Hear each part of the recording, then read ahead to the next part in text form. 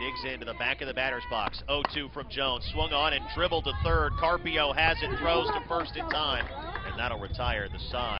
The Bison go to Brookings next week. The 1-2 is swung on and hit hard into right center. That'll find the gap for a base hit. Cut off by Camacho with good speed. First hit of the game for either team is a one-out single for Madison Peterson. Two down, top of the second. The payoff from Lyle. Swing and a miss. Jones tries to get out of the inning, having faced the eight-hole hitter, the 2-1 is swung on and chopped to third. Carpio has that off one hop and throws to first in time. But with nowhere to hide from the sun, it just beats down on everything. 1-2 swung on and roped over the glove of DeCamp, and that'll get to the wall in left center for a two-base hit. Moore slides into second with a one-out double, and the Fighting Hawks with a little more pressure on Laney Lott. Mariah Peters at second, pinch runner. 2-0, swung on. This is a ground ball towards short. DeCamp has it behind the bag at second, throws to first in time.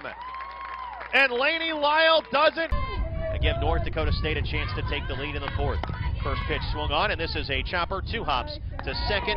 Sartan has it, throws to first in time, and a 4-3 putout retires. Lyles 0-1. Check swing, and the runner going. A great throw down to second by Wysong. And DeCamp applies the tag. Lyle has been able to rise the challenge, and the defense has made some terrific plays. This is a really good bunt to the left of the plate, and Maycutt trying, or Wysong rather, trying to go for the lead runner. Not even close.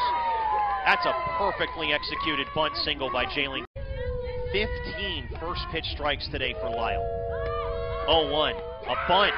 Bunt at the plate. This time, Wysong has it, but throws to first late. And the bases are loaded.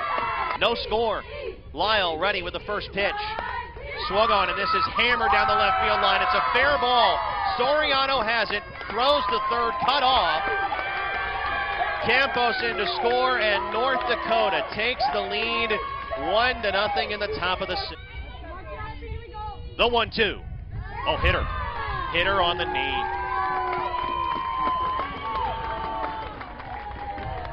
Moore will trot in from third. Peterson to third. Uvala to second. And Bierstedt in the pinch hit. PA draws an HBP and an RBI, and it's 2 0 North Dakota. Kane with a big hit opportunity, swings and rifles one into left for a base hit. Camacho in to score. Paget goes to second. And three hits in the inning for North Dakota State. They've cut the deficit to 2 to 1. So Jensen has done a good job at the plate today. Line in the 2 1, swung on, chopper back up the middle of base hit. Paget gets the wave around third and will score it. And we're tied. An RBI base knock by Keon. A big moment for Maycutt. Pika's payoff pitch. Swung on, grounder to third. Up with it, Carpio throws to first in time. And we will play a ninth inning at Tharaldson Park. Has reached twice on a pair of walks against Omaha on April 24th in the second game. So Camacho will try to extend the ninth. She swings and hits a soft one hopper to Carpio at third. She fields and throws in time, and that's out number three. And the Bison go in order, and we will play a tenth.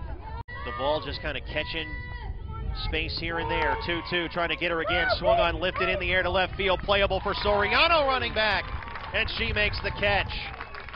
Had to kind of ride with the wind a little bit, blowing out to left for a walk-off after one of a doubleheader. 2-2. Maycutt swings, hits it in the air, to left center, it is off the top of the wall. Lisea gets the wave around third. She will score a walk-off knock for Cameron Maycutt, and the Bison win it in 11, 3 to 2 over North Dakota.